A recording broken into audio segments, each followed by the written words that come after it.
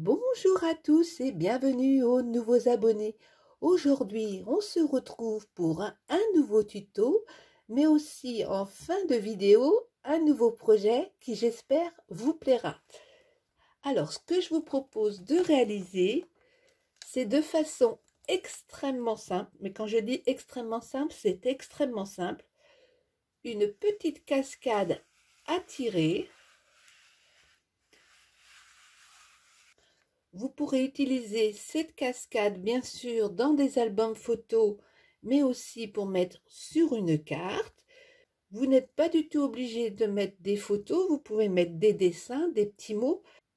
Bref, c'est un tuto très très pratique puisque vous pouvez adapter le format des pages à votre convenance, en tout petit ou en très grand, mettre le nombre de pages que vous souhaitez et en plus de façon extrêmement simple. Alors, que demander de plus? Ça vous tente? Allez, c'est parti. Pour faire votre cascade, il vous faudra du papier épais. Donc, moi, je vais prendre le papier noir de ce bloc-ci de chez Action.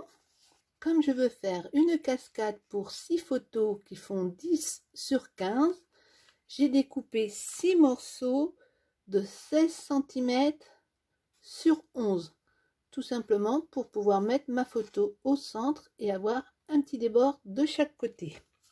Il vous faudra également un morceau de papier de la même largeur que vos cartes. Donc là, comme mes cartes font 16 cm, j'ai tout simplement découpé ma feuille de 29,7 à 16 cm. Et dans la chute, je suis venue découper une borne de 2,5 cm. Je prends ma bande de 29,7 cm sur 16. Ensuite, vous allez marquer 6 plis de la même taille. Ça peut être compris entre 1 et 1,5. Alors moi, j'ai choisi de les faire à 1,2 histoire de me compliquer la tâche. Donc ça fait 1,2, 2,4, 3,6, 4,8 6 cm et le dernier à 7,2 vous obtenez ainsi vos 6 espaces pour coller vos petites cartes. Je retourne mon papier et je viens marquer le pli le plus éloigné ici. Et je vérifie que je suis bien dans l'alignement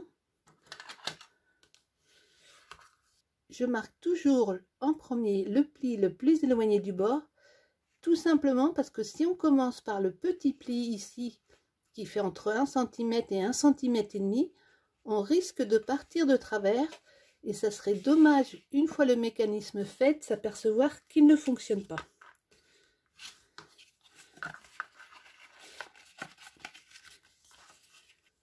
Je marque le deuxième pli.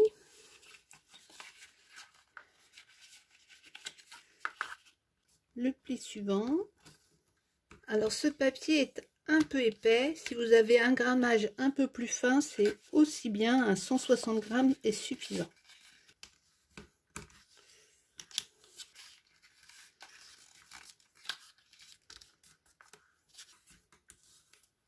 Donc vous avez vos six espaces pour coller les photos. On va maintenant mettre de la colle sur le premier espace.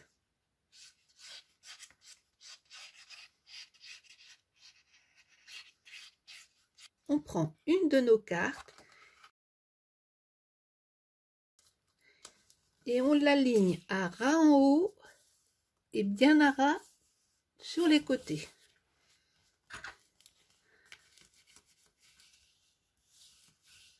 On fait bien adhérer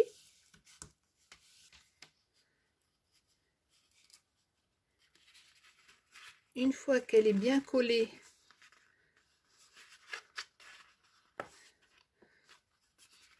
je rabats le pli vers moi comme ceci. Et je remarque le pli. Je mets de la colle sur le deuxième espace. On prend une de nos cartes. Et je viens la coller et en restant bien dans l'alignement ici et là. C'est vraiment important. Pareil ici, ne dépassez pas, sinon ça va coincer le mécanisme. Ne dépassez pas le pli.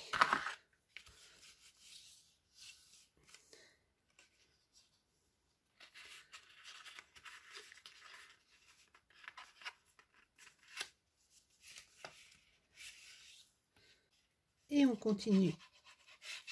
Comme ça.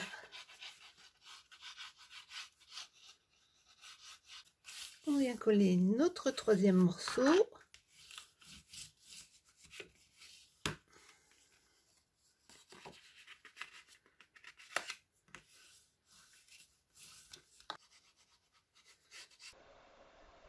On met de la colle. Le quatrième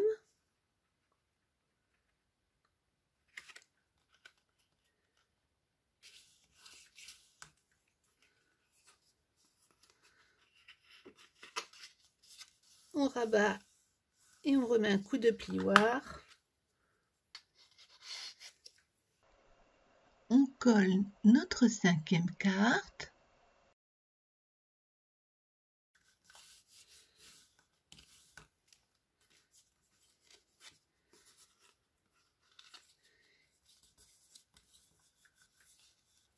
On arrive au dernier et on fait la même chose. On met de la colle.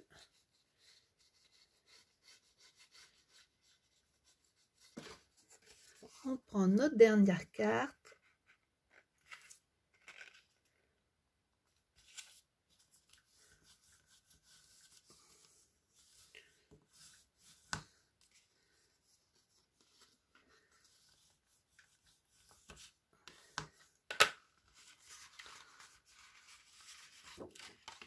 Donc vous voyez, si je tire, déjà les feuilles se déroulent et se renroulent. Moi, j'ai choisi de faire six espaces parce que j'avais besoin que de ça. Mais si vous avez plus de photos, vous pouvez marquer encore des plis. L'essentiel étant qu'il vous reste un petit peu d'espace à la fin pour pouvoir faire la tirette. Ensuite, vous prenez votre petite bande. Vous la mettez à peu près au centre vous marquez un premier pli. Vous venez le mettre bien droit ensuite. Donc je le repositionne. Pour rester bien à l'horizontale ce que je fais c'est que je m'aligne sur ma première petite carte ici. Et je viens marquer un deuxième pli. Donc vous voyez il faut pas que ça soit trop serré parce qu'il faut que les bandes passent facilement dedans Ensuite, j'ouvre mon mécanisme. Je retourne complètement. Et je vais venir coller ma bande à ras de ma page.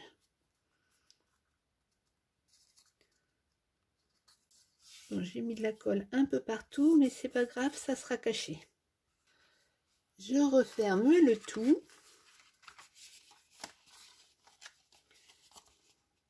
Donc là, ma structure est faite pour être mise dans un album qui va faire 20 sur 20. Donc vous voyez là, j'ai préparé ma feuille ainsi que ma feuille de matage. Je pourrais décider de coller comme ceci. D'ailleurs, ça c'est joli, je pense que c'est ce que je vais faire. Donc je me fais un petit repère à l'endroit qui ne doit pas sortir. Donc je positionne à peu près l'emplacement. Je marque un trait dans l'alignement de ma feuille. Je coupe mon excédent.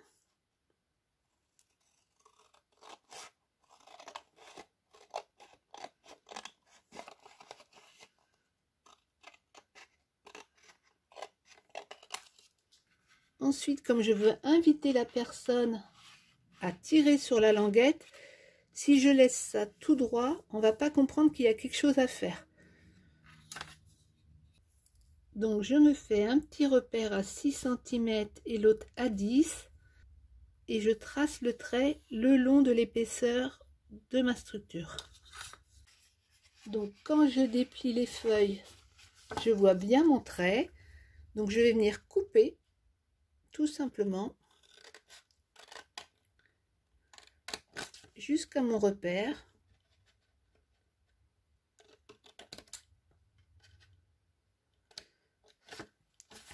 Je coupe.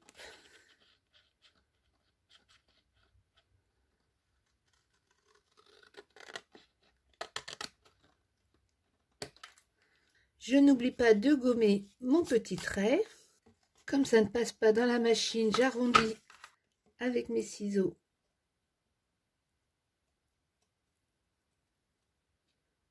l'angle. Voilà, comme ça, c'est beaucoup plus visible qu'il y a quelque chose à tirer. Si vous voulez coller du papier déco sur votre page d'album, c'est le moment de le faire. Après, il sera trop tard. Si vous souhaitez arrondir les angles, c'est aussi maintenant qu'il faut le faire. Ça sera plus pratique. Alors la petite perforatrice que j'utilise, pour celles qui ne connaissent pas, c'est une perforatrice qui était vendue chez Action avec une planche de rainage. Ça fait un petit moment qu'ils n'ont pas sorti. Dès que je la vois, je vous préviens parce que c'est vraiment un outil qui m'est indispensable. Donc c'est le moment aussi de coller vos photos ou vos papiers de matage avant de coller la structure.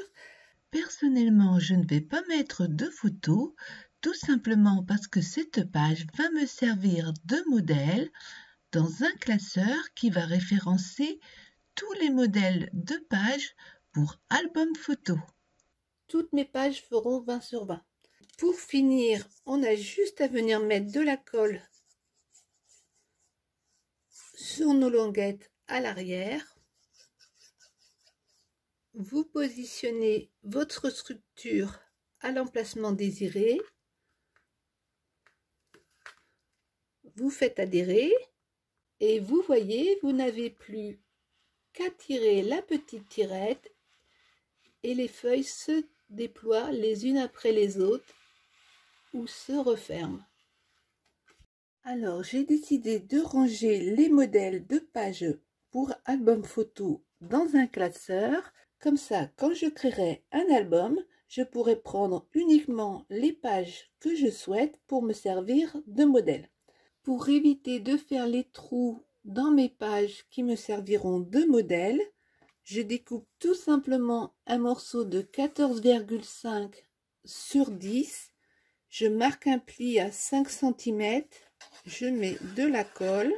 Je prends mon morceau de papier avec le côté plié ici j'ai aligné mon repère sur A06 et je perce.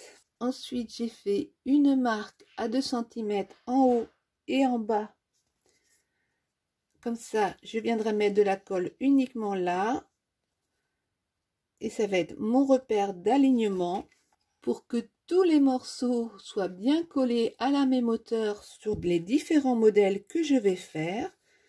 J'ai tout simplement découpé une petite bande de papier de 3 cm.